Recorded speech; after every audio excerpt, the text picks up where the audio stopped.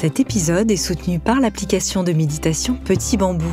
Méditer me permet de lâcher prise, d'être dans l'instant présent et d'éviter d'être submergé par un stress d'une vie de famille et d'une vie professionnelle bien remplie, vous vous en doutez.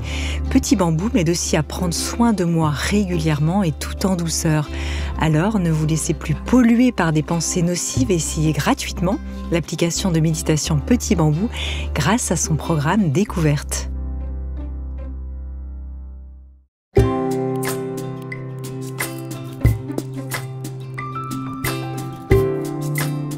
Bienvenue dans la saison 4 de Métamorphose. Chaque semaine, je vous invite à la découverte de sujets lumineux avec des personnalités qui portent une voix d'éveil des consciences. Métamorphose, le podcast qui éveille la conscience. Par Anne Guéquière, tous les lundis et jeudis, dès 7h. Devons-nous éteindre nos écrans pour retrouver une joie profonde? Voici une question que tout le monde se pose aujourd'hui tant notre dépendance aux réseaux et applications de tous bords est venue s'immiscer dans notre quotidien, quitte à parfois en payer le prix fort. Mon invitée du jour est une ancienne créatrice en agence de communication, devenue romancière de livres best-sellers. Elle publie aujourd'hui un nouveau roman aux éditions Plomb, Le spleen du popcorn qui voulait exploser de joie et vient nous parler, sans nous mettre justement la pression, de comment faire pour retrouver une profonde joie de vivre, se sentir bien dans son corps, déployer sa créativité, revoir nos priorités, identifier justement ce qui nous met trop la pression. Pour partager sur ce chemin, j'accueille, et vous l'aurez euh, sans doute reconnu, Raphaël Giordano. Bonjour Raphaël. Bonjour Anne. Alors comment ça va aujourd'hui? Pas trop la pression, non? Je suis tellement contente de vous retrouver, euh, Anne. Donc non, pas trop la pression. De la joie, justement. Ah ben c'est parfait. Alors, sans nous dévoiler toute l'histoire, est-ce que vous avez envie de nous faire rapidement un petit pitch euh, de votre nouveau roman Et puis peut-être nous, nous parler un peu de ce titre incroyable? Bien sûr. Alors, euh, mon histoire, c'est raconte l'histoire de Joy, cette jeune femme qui travaille dans une agence de celebrity marketing. Euh, et euh, en réalité, cette petite agence, c'est un vrai repère de, caractériel. Euh, donc, l'histoire, c'est à la fois toutes les pressions qu'elle se met entre elle et elle pour être à la hauteur et les pressions qu'on lui met parce que on charge la mule, on lui donne toujours plus de, travail et elle, elle veut contrôler la situation euh, à tel point qu'elle finit par, par développer un toc digital. Hmm, c'est ça. Alors dans ce roman, un Joy, votre héroïne, vous l'avez dit, euh, croit faire tout ce qu'il faut pour aller bien, mais ça la rend pas, pas plus heureuse. En fait, d'où vient ce, besoin, je me demandais, de perfection, euh, de devoir causer, cocher un peu toutes les cases? Est-ce qu'on est finalement, d'une certaine manière, un peu en suradaptation permanente? C'est l'impression que j'ai. En effet, euh, on reçoit, je crois, euh, beaucoup d'injonctions dans nos sociétés. Enfin, moi, l'idée du roman m'est venue pendant le confinement euh, qui a exacerbé ce sentiment-là. c'est-à-dire le, contrôle de, nos vies, ce qu'on doit faire, on doit compter nos pas, on doit faire attention à ce qu'on mange, à notre façon de vivre. Et je me suis aperçue que peut-être qu'un matin, on se réveille et on ne vit plus, on gère.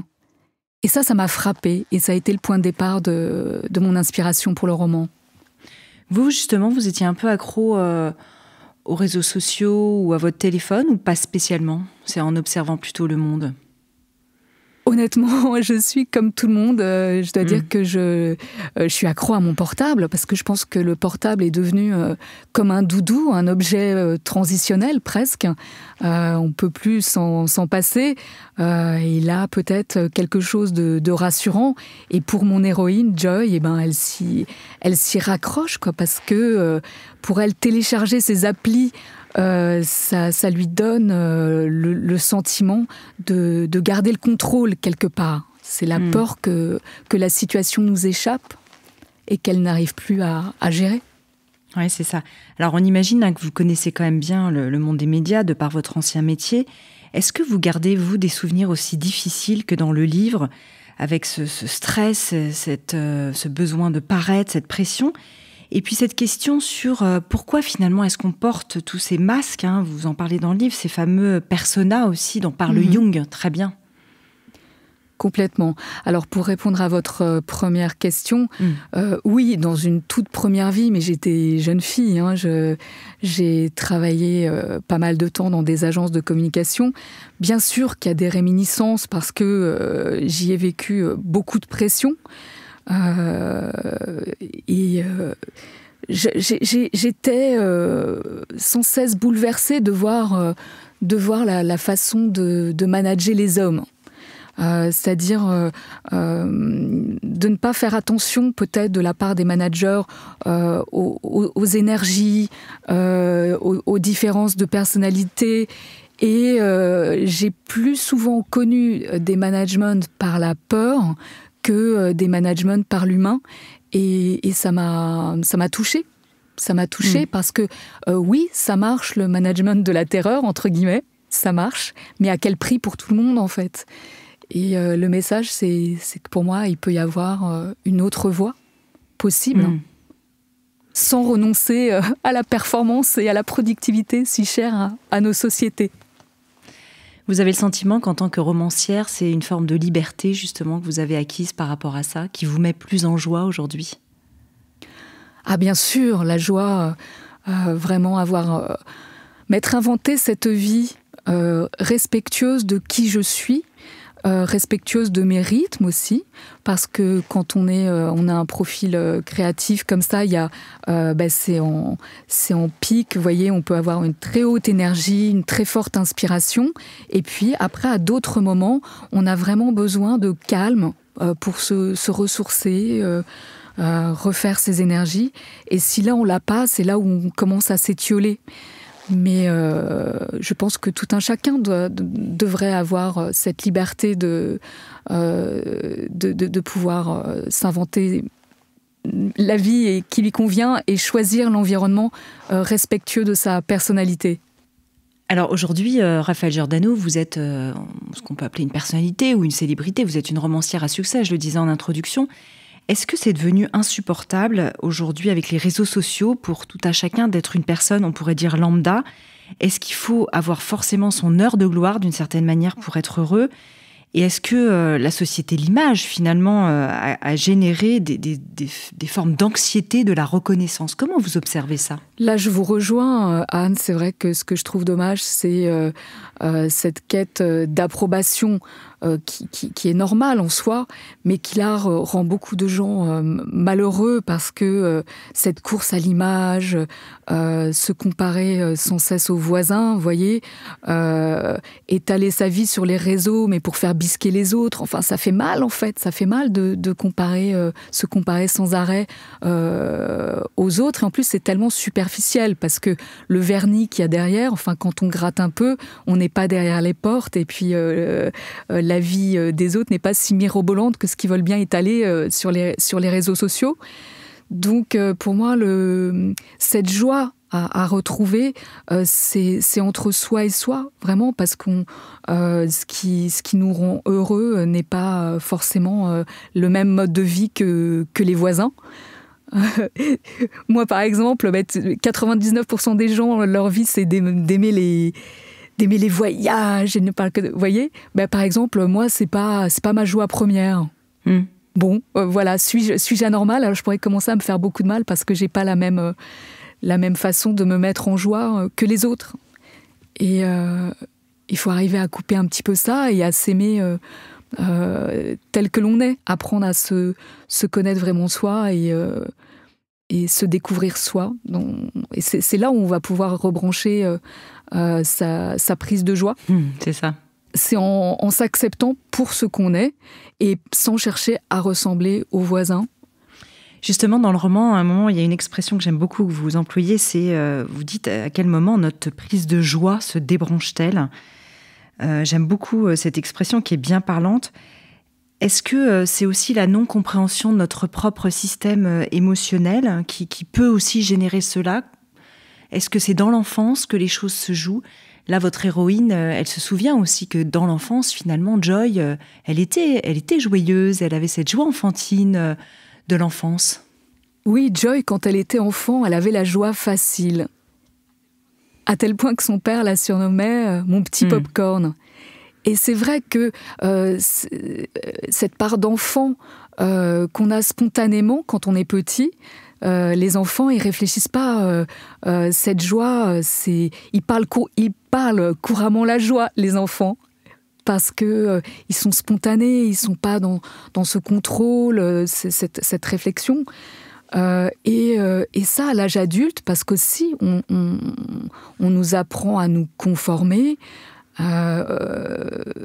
on commence à se mettre beaucoup de pression, comme je le disais, pression d'être à la hauteur et d'être dans les clous, parce que c'est ça qui m'a qui m'a intéressé quand j'ai voulu raconter cette, histoire c'est terrible de se sentir pas dans les clous, mais toujours par rapport aux autres, à l'image que la société euh, voudrait qu'on ait.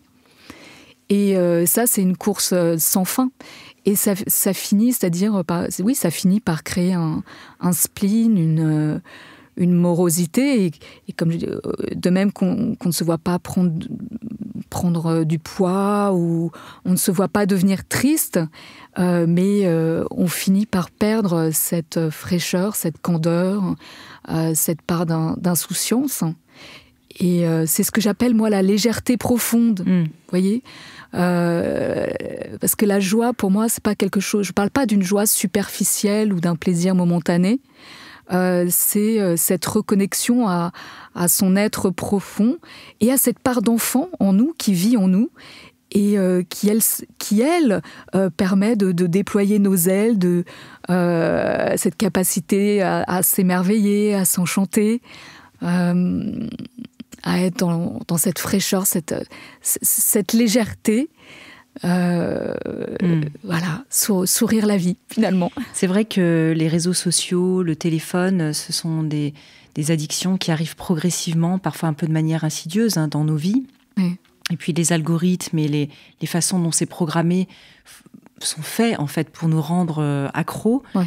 À quel moment il y a une sorte de prise de conscience qui peut venir, un discernement et un espèce de stop et puis peut-être un, retour en arrière sur les, sources finalement de, nos blessures profondes qui fait que on tombe quelque part dans, ces addictions. L'idée, c'est de pas de faire culpabiliser les gens parce qu'on est tous un peu là-dedans, mais, mais quand même d'avoir cette espèce de, discernement, cette prise de conscience soudaine. La prise de conscience, c'est quand on se rend compte qu'on ne peut pas passer plus de cinq minutes euh, sans consulter ces messages. Il y a une espèce de compulsion et ça, ça, ça nous rend malheureux. En fait, euh, ça nous met dans un état constant de, de vigilance. Enfin, je sais pas vous, mais bon, moi en tout cas, hmm.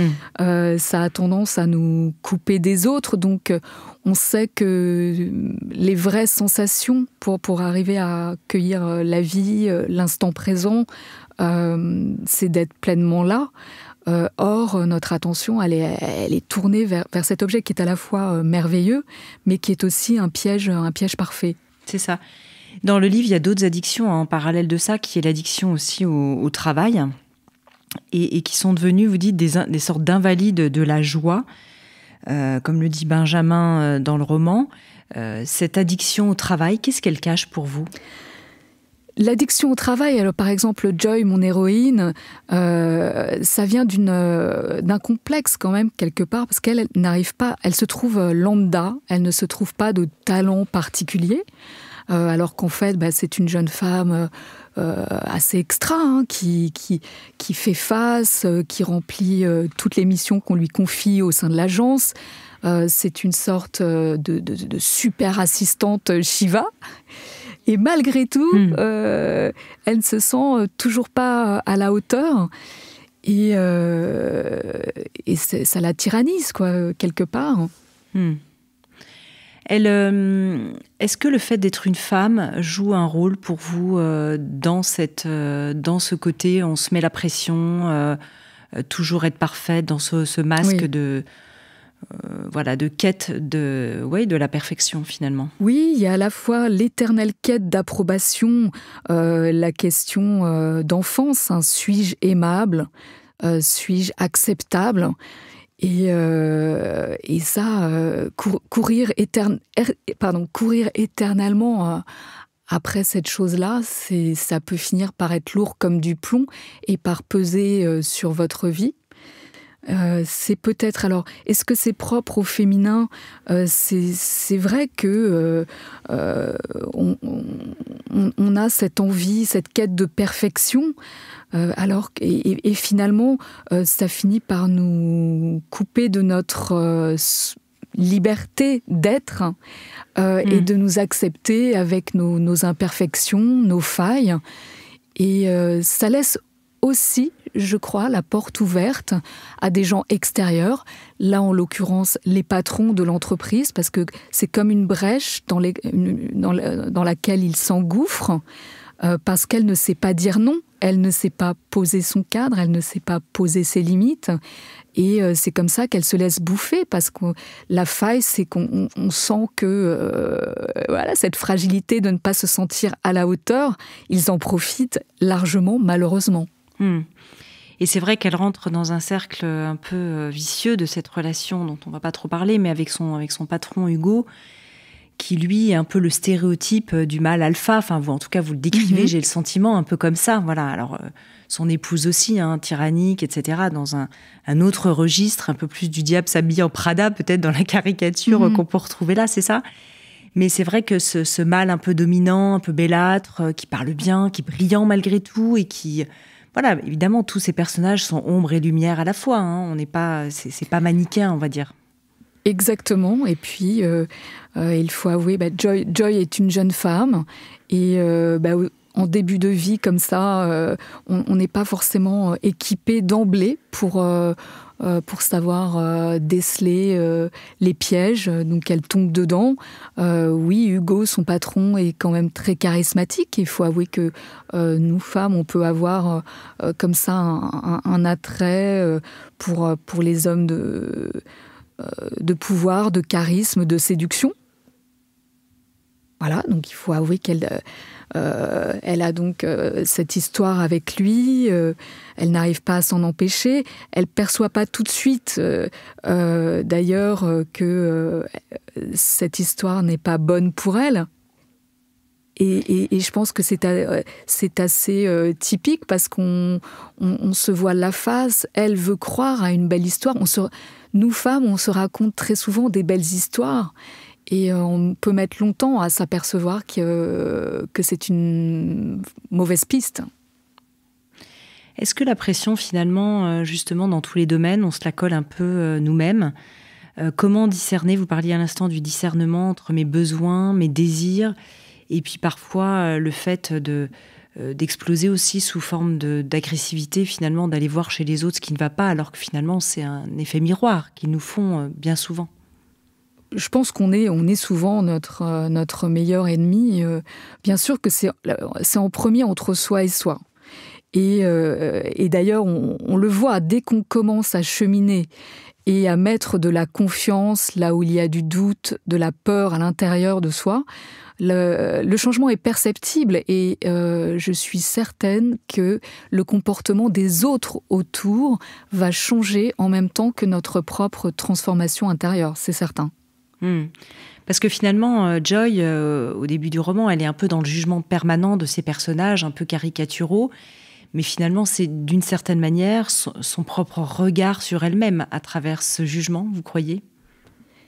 Alors, ce qu'il y a, c'est oui. Alors, euh, chaque personnage de, l'agence, bon, je me suis amusée aussi à faire une, galerie de portraits un peu au vitriol, mais de tous les types de, euh, de pollueurs euh, au sein d'une agence. Mais c'est à peine caricatural au final.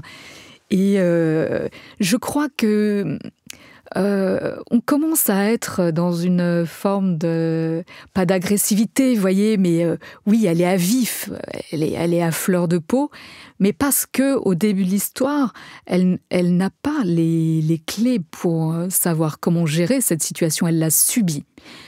C'est un petit peu comme dans le, le Mimeto Pipo dont je parle dans, le livre, qui est un jeu que j'ai imaginé.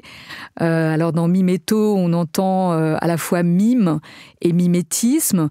Euh, pipo Pipo, bah c'est voilà, c'est pour jouer avec les situations au lieu de les subir. Pour donner un exemple concret, l'un des personnages un peu caractériels qui tous les jours la alpague à la machine à café euh, pour se déverser sur elle, ses stress, ses histoires et qui lui bouffe son temps, et eh bien avec le miméto pipo, euh, elle, elle, lui fait euh, la même chose en effet miroir. Et finalement l'autre s'en va dégoûté et, du coup Joyce s'est amusée avec la situation au lieu de la subir et ça, ça a renversé la situation totalement. Hmm. C'est ça, d'ailleurs, vous proposez de, créer du mouvement, c'est exactement ce qu'elle fait, arrêter l'attentisme et cultiver le détachement comme outil justement pour euh, changer de, fonctionnement. Et c'est ça qu'elle pratique quelque part à la machine à café. Complètement, complètement. Euh, déjà, euh, elle agit. Euh, tout à l'heure, vous me demandiez, euh, euh, moi, ce qui me mettait vraiment la pression, c'est les situations dans lesquelles j'ai l'impression que je suis enfermée et obligée de subir. Donc ça, je pense que pour les gens qui travaillent en entreprise, c'est l'enfer sur Terre. Et le message du, livre aussi, un message d'espoir, hein, c'est de dire non, on n'est pas coincé, c'est de sortir de ce sentiment-là qui est très étouffant. Euh, donc, euh, d'ailleurs, vous me demandiez de reparler le spleen du popcorn. Euh, mm. dans le choix du titre, cet oxymore qui rapproche ces deux termes antinomiques, il y a un double mouvement. Le spleen qui évoque Baudelaire, le couvercle bas et lourd qui pèse, hein, mm. donc qui écrase, qui vous étouffe. Et à l'inverse, euh, le popcorn qui est venu euh, pour moi comme image spontanément, qui est un mouvement euh, ascendant, dynamique, léger, plein de, de, vie et de spontanéité. Oui, qui est le Big Bang même presque. Oui, aussi, qui, euh, bon, on explose de joie, donc c'est un moment, un, mouvement euh, explosif et, et, incontrôlé vers le haut, euh, alors qu'à l'inverse, dans ce spleen de Baudelaire, ben, on imagine bien cette petite boîte, cet enfermement mm. dans une situation, pas une claustrophobie situationnelle, mais quand même pas loin. Quoi. Je veux dire, on, on pense qu'on est coincé. Et c'est vrai que euh, pour ne citer que, que, Henri Laborit et, ses travaux hein, que vous connaissez, euh, mm. euh, la fuite, l'attaque ou, l'inhibition, donc même les tests qu'il a fait sur, sur des rats, on voit le, le pauvre, pauvre rat qui a le plus souffert, c'est celui qui inhibe, c'est-à-dire qui, qui, qui, reste sur place et qui et qui subit et qui donc finit par, par euh, s'en rendre malade. Mm. Et Joy, mon, héroïne, au début, en tout cas, elle s'en rend pas compte parce qu'au début, il y, a un déni. On, on, est tellement prise sur le tapis roulant de, la situation, elle n'a pas le temps de s'interroger et euh, elle est au bord de. C'est un petit pop-corn au bord de l'implosion. C'est ça.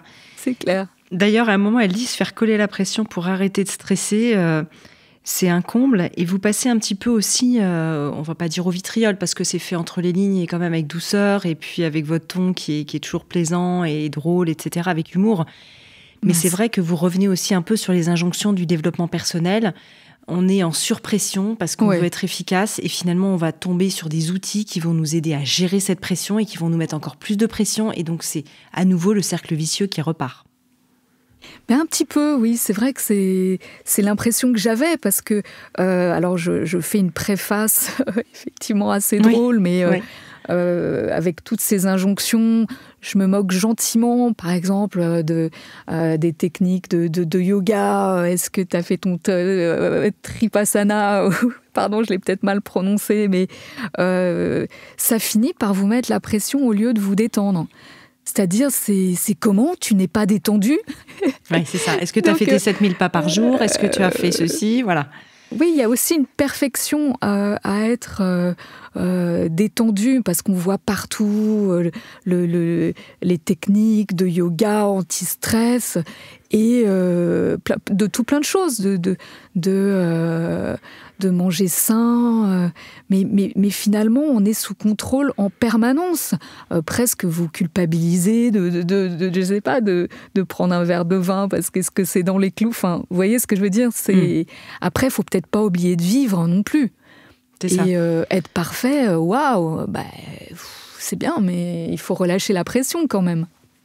Et en même temps, il y a ce vrai besoin, et ça vous le dites bien, de, revenir vraiment tout le temps au corps, c'est-à-dire de, redescendre du mental et de cette pression. Et Joy, elle est vraiment, on voit bien, elle mouline, elle est dans son mental. Et puis tous les gens de l'agence que vous décrivez aussi, et de vraiment redescendre dans le corps.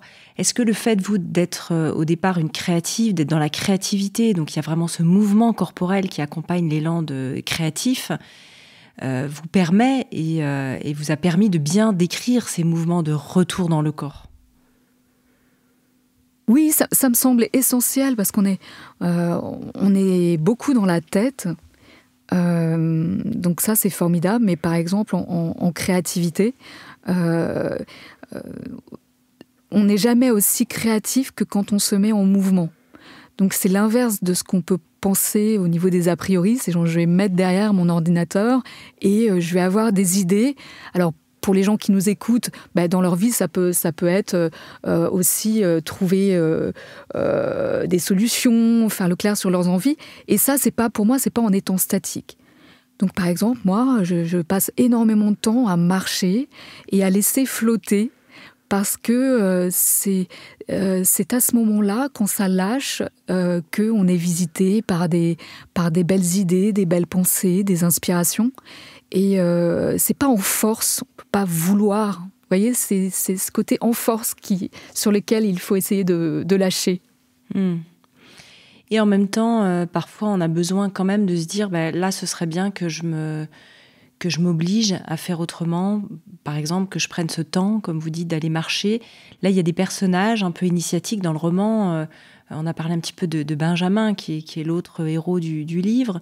Et puis aussi cette femme un peu plus âgée, voilà, qui est dans une forme de sagesse, on pourrait dire. Elle est passée peut-être euh, cette période de ce qu'on appelle la femme sage, euh, légère, joyeuse, bien ancrée finalement mmh. dans la vie d'une certaine manière.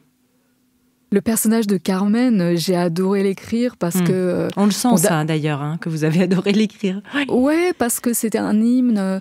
C'est c'est une femme qui a une soixantaine d'années. Euh, Benjamin, qui est l'autre héros du livre, qui, est, donc par opposition, lui, euh, a un management de l'humain, euh, est un personnage euh, heureux et joyeux, connecté, et il a tendu la main à cette Carmen, parce que à son âge, entre guillemets, elle n'aurait jamais dû pouvoir retrouver un travail, alors qu'elle est formidable, par exemple. Euh, et, Carmen, euh, dans sa soixantaine flamboyante, pour dire mais c'est la jeunesse de l'esprit, euh, c'est la drôlerie, c'est dire c'est casser les stéréotypes quoi. C'est il n'y a, a, pas d'âge pour être pour être dans la vie. Et, et elle, elle l'a bien compris. Elle a, ben elle a fait, elle a fait sa route, elle a fait son chemin. Et euh, de même qu'elle, elle finit par rencontrer l'amour aussi, mais parce qu'elle se l'autorise aussi. Parce qu'il y a, tellement de, pensées limitantes qu'on peut se mettre. Euh, vous voyez hmm. On se réenferme parce que c'est les idées reçues, ce qu'on nous a. On a, voulu, on a cru devoir nous apprendre. Bon, ben non, c'est foutu, euh, passé tel âge, on peut plus faire telle ou telle chose où euh, bon bah elle arrive, c'est un peu une une, une jeune une, senior un rock'n'roll, mais parce qu'elle se donne l'autorisation, hmm. la permission d'être libre, libre dans sa tête, quel que soit l'âge, euh, de vivre pleinement et sans, sans craindre. Elle vit une passion même amoureuse, mais tant mieux quoi. Je veux dire, il n'y a pas de C'était, une manière de revenir justement sur cette fameuse invisibilité des femmes de plus de 50 ans à travers ce personnage? Oui, j'ai envie de mettre euh, les femmes à l'honneur de, tous les âges. Euh, et euh, je, trouve qu'elles ne sont jamais aussi belles que dans cette maturité. Et euh, pourquoi, enfin, euh, c'est, enfin, pour ne pas dire, euh, enfin, je sais pas, c'est, c'est, j'aime pas ces termes qui, qui sont réducteurs parce que c'est, ce qu'on est dans l'âme, c'est ce qu'on est dans la tête. Et, et c'est la seule chose qui, qui, compte pour moi, c'est les yeux qui brillent. Cette femme, elle, elle a les yeux qui brillent. Elle a le hmm. cœur, elle a le cœur grand, elle, a le cœur généreux. Euh, et, c'est extraordinaire, voilà, c'est chouette. Et puis avec toute la petite troupe de, de petits Max, de Benjamin, parce que euh, ils sont une fine équipe de, trois. Je dis petit Max parce que c'est un clin d'œil à la chanson Il est libre Max. Hmm. Et euh, sont trois personnages qui, qui ont su recréer une famille de cœur, même s'ils travaillent ensemble. Et, ils ont su composer avec leurs atypismes, avec leur personnalité. et ils travaillent bien ensemble, mais ils s'aiment aussi. Et, c'est chouette, c'est peut-être ça la, vie. Hmm. Ça représente un peu, à votre avis, un peu ces deux mondes. Alors, c'est sans être tombé dans les caricatures, mais ce monde qui chemine, cette quête un peu de sens, de soi, de retour aux sources, avec ces gens qui vivent ben, un peu différemment aujourd'hui, euh, peut-être dans des habitats groupés, euh, euh, effectivement intergénérationnels, comme ça, qui se posent des questions, qui sont plus apaisés sur le vivant. Et puis de l'autre, ce monde toujours un peu plus rapide, performant, qui, avec les nouvelles technos qui cohabitent et qui nous poussent à aller aussi toujours plus vite, plus loin, euh, plus, plus, plus, etc. Et, c'est quand même ces deux mondes qu'on voit aujourd'hui avec ce, point de bascule, euh, on sent, euh, de l'humanité hein, actuellement. Complètement. Et pour moi, il y a un paradoxe du temps, en fait, mm. même au niveau de, de la performance. Euh, je suis quand même euh, choquée de, voir que l'équation euh, pression égale performance qui subsiste encore dans beaucoup d'entreprises. et c'est totalement dans l'erreur pour moi. par exemple, moi j'ai remarqué quand bon, je me suis donné cette chance aussi, hein, parce qu'on dit c'est une chance, mais je me la suis donnée aussi de travailler différemment. Euh, je vous l'ai dit, en, respectant mes rythmes qui, fluctuent parfois. Euh, et, savoir se donner des temps de repos, mais pour être encore mieux derrière. Euh, je vois, je travaille 100 fois plus vite, je travaille très vite. Donc du coup, oui, je travaille moins, mais je travaille beaucoup plus efficacement aussi. Hmm. Et ce que je regrette un petit peu, c'est euh, euh, que les, euh, les sociétés, la société ne, ne, prennent pas le temps de mettre de l'intelligence dans la façon de fonctionner. Vous voyez? Hmm. ne, ne, re-questionne pas les, modes de fonctionnement. Moi, je me souviens quand je travaillais en agence, j'étais conceptrice, rédactrice, mais des fois pendant des journées entières. On attendait un brief mais on était sous pression totalement, c'est-à-dire qu'on attendait derrière nos ordinateurs euh, en culpabilisant, parce que oh là là, si on n'a pas l'air de travailler, euh, euh, ça va pas, en stressant par rapport, à la direction, vous voyez? Donc hmm. tout, tout, ça, c'est paraître. Mais, mais c'est ridicule en fait, c'est parce que quand vous passez des journées entières comme ça, sous, sous pression à mince, faut que j'ai l'air de travailler.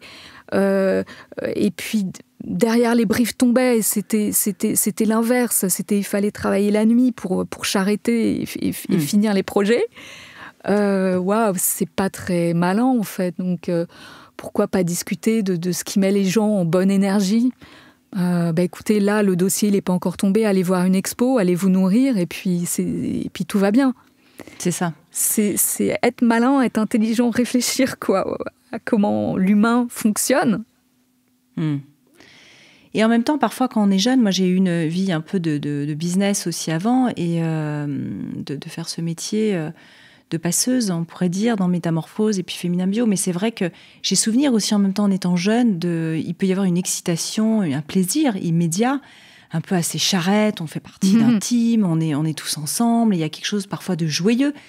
Le problème, c'est quand ça devient un peu la norme. Là, vous dites bien dans le livre, à 18 heures, elle, part du bureau parce qu'elle veut faire plaisir à quelqu'un, elle veut faire quelque chose, et euh, on, lui, on lui fait sentir que comme si elle prenait sa journée, en fait, alors que bah, c'est la fin de la journée, en réalité.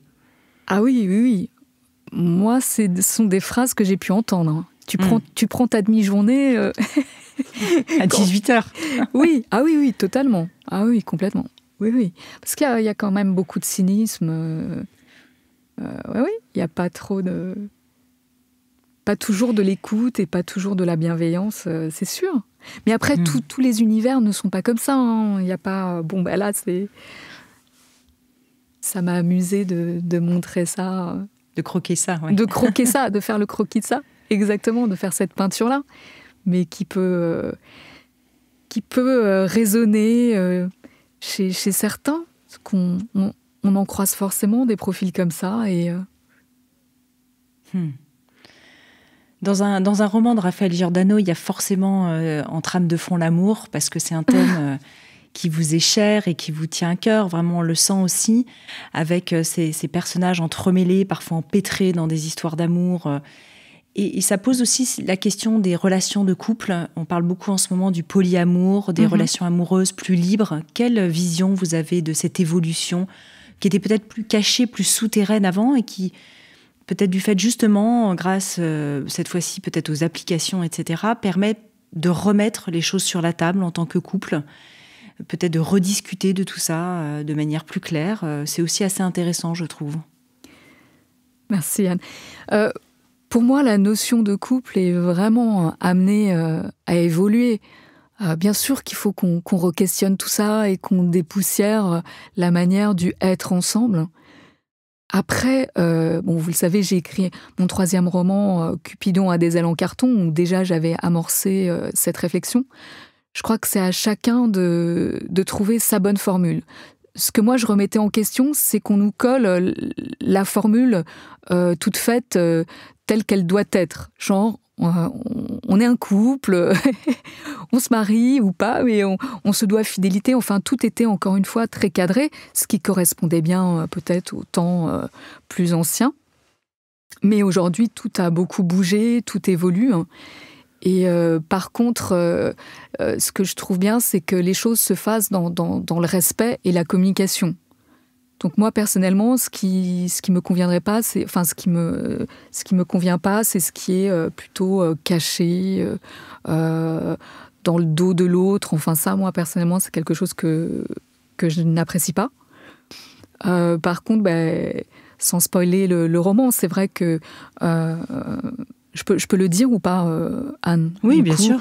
Euh, le, le boss de, de l'entreprise, euh, Hugo, qui travaille, qui travaille avec, avec sa femme, et eux, on, le découvre à la fin, sont un couple libre et, mm. et donc propose presque, enfin propose presque à, à Joy de, de, de, finir en trouble, ce qui est le nouveau grand, truc, quoi, les, le, le, le couple à trois. Et euh, si eux, ça leur convient, vous voyez, euh, c'est dans la communication hmm. que ça doit se passer. Ce qui va pas dans l'histoire, c'est que Joy, elle, elle n'a rien demandé. Elle est très sincèrement amoureuse de son boss. Euh, il ne lui a pas parlé du tout pendant les deux ans de leur relation, de, de qui il était vraiment, que, que son épouse était au courant et que eux deux étaient un couple libre. Et donc ça, pour moi, c'est ça l'abus. C'est de, de, de, c'est de cacher. Un peu le dindon de la farce, quoi. Oui, c'était un peu le dindon de la farce. Euh, il lui aurait expliqué clairement la situation. Après, c'est libre à elle de dire ce qui lui convient. Peut-être que, que, que, ça, lui, ça lui aurait plu, euh, mais euh, ce qui va pas, c'est cette dissimulation. ça, ça convient pas.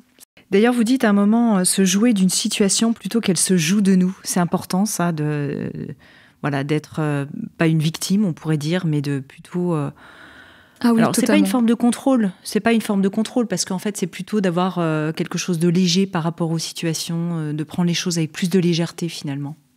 Oui, complètement. Bah, ça fait vraiment partie de ce qui permet de rebrancher cette prise de joie. Hmm. C'est d'arrêter de subir les situations.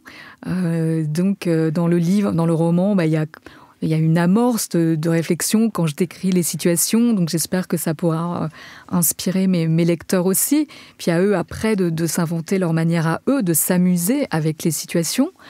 donc déjà, ça remet de la légèreté et effectivement, on quitte cette posture de victime où là, finalement, n'arrive pas à se sortir des mauvais jeux que les autres euh, veulent bien nous faire subir. On va pas reparler du triangle de, de euh, mais bon, vous le savez, on peut tourner dans les rôles sauveur, victime, persécuteur. Et ça, ce sont des relations toxiques. Alors ça peut arriver au travail comme dans les relations euh, personnelles. Et euh, qu'est-ce qu'on fait quand on est dans un mauvais jeu psychologique? Ben, il, faut, euh, il faut sortir de, ce mauvais théâtre. Et quand il n'y a plus d'acteurs, ben, il n'y a plus de jeu. Hein. Hmm. C'est ça. Est-ce que c'est une invitation quand même à refaire ce travail d'introspection, ce cheminement intérieur, thérapeutique, on pourrait dire, d'une manière ou d'une autre, à un moment? Moi, je suis persuadée qu'un chemin euh, de, travail sur soi euh, apporte énormément. Je regrette d'ailleurs euh, que ça reste perçu par pas mal de gens, femmes, hommes beaucoup, euh, comme euh, tiens on va on, va consulter enfin on va on, va s'offrir que que s'offrir un, thérapeute un travail avec un thérapeute c'est quand on va mal dans sa tête. Alors qu'en réalité pour moi c'est un espace de, de, parole et de réflexion sur soi. Euh, sont des personnes qualifiées et neutres. Et la neutralité elle est importante parce que parler à ses proches, bah déjà c'est génial, mais euh, il y a une proximité émotionnelle euh, qui empêche quand même euh, mm. le, vrai travail. Mais, mais ça, mm. ce, n'est que, que moi qui le, qui le dis. Moi, je continue même aujourd'hui. alors que ça fait plus de 20 ans que je chemine et que je fais ce type de démarche, je, je continue à aller voir quelqu'un. J'ai une thérapeute gestalt formidable euh, mm. et qui continue. Euh, voilà, c'est un espace euh, d'échange. En fait, ça me ça me fait réfléchir à plein de choses. Ça continue à me faire avancer, même moi, parce que je le chemin, même pour, pour devenir ce que je suis aujourd'hui. C'est-à-dire, et ça, j'en suis fière parce que j'ai beaucoup œuvré pour ça. Une femme autonome, en pleine autonomie, que, que ce soit financière ou, ou personnelle, dans, dans l'autonomie et dans, dans, la liberté. Et, euh, Émotionnel aussi. voilà, et euh, euh, continuer à, m'accepter tel que je suis, c'est-à-dire par, par moments fortes, mais je, je, continue à me juger pas mal dans mes moments de vulnérabilité, c'est-à-dire elle constatait que j'avais, par moments, je me jugeais très durement, quand hmm. voilà, les, les, petits coups de moins bien, inévitables dans, dans la vie ah ben je me j'étais méchante avec moi-même quoi. Quoi euh, t'as as un coup de fatigue quand je vois tout ce que je gère etc et c'est c'est c'est dommage. Donc ça je, ça permet d'accueillir ça ouais, ben, c'est-à-dire mm. euh, voilà il y a encore euh, il y a encore des choses pour pour devenir de plus en plus pleinement moi-même et c'est bon en fait parce que là les masques qui tombent même moi vis-à-vis -vis des autres euh, d'arrêter de vouloir être parfaite tout le temps. Bon, bah, si là, je me, je me trompe ou si je fais moins bien, bah, ou de me présenter aux autres, ouais, en étant pleinement moi. Et hmm. euh, même avec mes, mes, spécificités, parce que quand on est une personne euh, hypersensible, on, a, on, est, on peut avoir quelques traits particuliers, mais qui n'en a pas. Qui n'en a pas. Ah oui, c'est ça. est-ce que la, oui, est-ce que la célébrité peut parfois figer euh, certaines choses justement Le fait de devenir euh, quelqu'un de plus connu euh, peut remettre un masque et qu'il faut à nouveau après redéconstruire derrière. Bien sûr, parce que euh, le masque de la célébrité, euh, euh, vous portez une image, mais moi, j'ai pas, comment vous dirais-je? Je pense que le, plus beau cadeau que je puisse faire aux personnes qui me font l'amitié de, me suivre, c'est de me montrer tel que je suis, et donc pas en Wonder Woman qui assure en rodier, si vous voyez ce que je veux dire, mais, mais juste une femme ben, pleinement humaine et, logée à la même enseigne euh, que les autres pour ce qui est de la traversée de l'existence, donc euh, euh, avec, avec mes soucis, mes choses bien. et il faut tout, tout, un chacun, il faut ce courage pour, pour affronter ce qui peut nous arriver. Et, et je suis comme tout le monde. Mais, mais, de montrer, voilà, je, trouve que le ballet masque, c'est un cadeau qu'on peut faire parce que euh, hmm. vous parliez très justement, Anne, tout à l'heure de, de, la persona. Euh, waouh, il est lourd ce masque à porter par moment. C'est lourd. Paraître, paraître, c'est lourd des fois. Vous avez parlé de la Gestalt euh, en disant que c'était une thérapie qui vous convenait. Juste pour nos auditrices et nos auditeurs, en deux mots, peut-être définir un petit peu ce que c'est voilà, pour des personnes qui pourraient être intéressées par cette voie peut-être. Oui, alors la gestalt thérapie, euh, moi, c'est euh, une approche assez formidable qui permet euh, de, de, traverser des schémas répétitifs, vous voyez, effectivement, qui partent de, de ce qu'on a pu vivre dans l'enfance. c'est intéressant aussi, on travaille beaucoup sur, sur le lien aux autres et sur les types d'attachement. Et euh, bon, notre vie entière, c'est le lien avec les autres. Donc il y a, y a, les liens sécures et il y a les liens dysfonctionnels. Euh, et donc, plus, plus on chemine, plus, plus on va vers des liens euh, beaux et, et sécures et positifs. Donc c'est un peu tout ça, la gestalt. Et ce qui m'intéresse aussi beaucoup, c'est qu'on peut avoir une lecture très claire de, ce qui nous est arrivé, dans notre vie, dans le passé, dans nos épreuves, euh, une analyse. Donc, par exemple, moi, j'avais une analyse très très précise des choses, mais c'est pas ça. Ce qui compte, c'est d'agir euh, sur d'autres strates plus profondes. Et ça, c'est un euh, un processus psychique en fait, le changement. Là, ce n'est plus une décision cognitive, c'est-à-dire c'est pas j'ai décidé que j'allais plus. Euh, mm. Voilà. Ça, ça, se passe pas comme ça. Donc c'est vrai que ça met un petit peu de temps. Euh, pour que le processus euh, psychique de changement se, se mette en place parce que ça vient vous chercher sur, sur des choses plus enfouies, plus inconscientes, sans être pour autant une analyse. On connaît la psychanalyse, donc c'est encore une autre démarche. Donc là, c'est moins long, ça fait partie, je pense, des, des mm. thérapies brèves et, et, et, et actives. Voilà, donc ça c'est ce qui me plaisait aussi.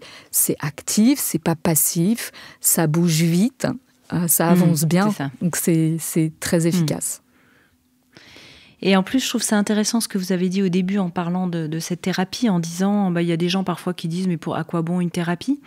Et en même temps, parfois, ce sont ces personnes-là qui précisément déballent un peu toute leur intériorité aux autres, en disant, j'ai pas besoin d'un psy, mais qui passent leur temps aussi mmh. parfois à ressasser auprès des autres qui ne sont pas thérapeutes justement, qui sont pas forcément là pour ça. Bien sûr qu'on écoute attentivement ses proches et son cercle, etc. Ça fait partie de la vie. Mais on connaît tous aussi autour de soi des gens qui, passent leur temps un peu à répéter la même chose et qui disent non, non, j'ai pas besoin de thérapie, mais j'aime bien que tu sois là en permanence pour écouter et ressasser mes problèmes. Complètement. Donc je trouve que c'est toujours intéressant d'avoir un peu ça en conscience quand même. Oui, oui. Si on pouvait casser un petit peu les idées reçues sur, euh, sur toutes ces, sur ces approches, sur ces espaces de parole, moi j'appelle ça euh, euh, mon écologie personnelle. C'est-à-dire qu'en fait, on trouve ça normal de se brosser les dents et d'avoir une hygiène euh, corporelle, euh, même vis-à-vis des autres. Hein, pour, mm. euh, et, d'un coup, ça devient suspect si vous allez voir un thérapeute. Alors qu'en fait, moi, tout ce, tout ce travail-là, enfin, j'aime pas trop le mot travail pour, pour parler de ça, parce que c'est cette connaissance de soi, puis c'est c'est, ce n'est pas que, que un bureau des larmes. Hein, cette connaissance de soi. Il y a de la joie à, à comprendre des choses, à, ressentir des choses. C'est une, une, libération aussi. Et euh, pouvoir euh, se présenter euh, aux autres, à ses proches, en étant dans, dans les meilleures dispositions. C'est un cadeau aussi pour soi et, et pour les autres. Effectivement, pour pas être un poids, pour pas peser avec ses problèmes. Or, on se traîne toujours des, nos tracassins, etc. Et enfin, c'est vrai, on en a toujours. Donc, euh, c'est chouette de pouvoir les évacuer justement au fur et à mesure. Mais à ce moment-là, c'est du même acabit que toutes les, démarches préventives, comme en Orient, on n'attend pas d'être malade pour faire quelque chose. Alors là, il ne s'agit pas d'être malade en allant voir un thérapeute. On, va, on peut aller très bien et faire cette démarche justement bah, pour euh, sortir de soi, parce que tout ce voyez, les émotions qu'on garde en soi, euh, ou tout ce qui nous pollue, si on le garde en soi, tout ce qui ne s'exprime pas s'imprime. Donc on se fait du mal au corps, mais on à l'âme, et par extension, on finit aussi par, par être pesant pour les autres. Donc c'est pas génial finalement. Oui, c'est ça. Allez, on arrive à la fin de ce podcast. Raphaël Giordano, pour terminer, j'avais envie de vous de citer un passage de votre livre et puis qui vous résume bien. Je trouve qu'il résume pas mal votre philosophie, à la fois de, de, vos romans et de celui-là en particulier, et de qui vous êtes, je crois, et de vous faire un peu réagir dessus. Alors vous dites, se désappliquer pour s'impliquer différemment avec plus de hauteur et plus de cœur aux commandes, avec sérieux, sans se prendre au sérieux, sauf à sérieusement se recentrer sur son essentiel et en abusant des brins de folie raisonnables. C'est un peu vous, ça? euh, J'en ai bien peur, ouais, dévoiler. dévoiler, allez, démasquer, voilà. On parlait des masques. Oui. Ouais. oh, et puis là, c'est un joli démasquage, alors c'est parfait. Un très grand merci, euh, Raphaël Giordano, d'être venu, euh, d'être revenu faire un tour dans Métamorphose. C'est moi qui vous remercie. avec plaisir, vraiment, pour nous rappeler l'importance du lien. Euh, aux autres et puis à soi-même. Je rappelle le titre de votre livre, Le spleen du popcorn qui voulait exploser de joie aux éditions Plomb et votre site internet pour suivre votre actualité, raphaelgiordano.com. Merci infiniment, Raphaël. C'est moi un très grand merci, c'était un plaisir. Si vous avez aimé ce podcast, n'hésitez pas à lui donner 5 étoiles sur Deezer et surtout abonnez-vous gratuitement sur votre plateforme préférée pour ne manquer aucun épisode. Découvrez mes invités en avant-première sur Instagram à l'adresse Métamorphose Podcast et abonnez-vous aussi gratuitement dès maintenant à la newsletter Métamorphose pour être au courant de nos conférences, ateliers et de nos dernières actualités. Pour ça, rendez-vous sur notre nouveau site www.métamorphosepodcast.com. Métamorphose, le podcast qui éveille la conscience. Par Anne Guéquière, tous les lundis et jeudis, dès 7h.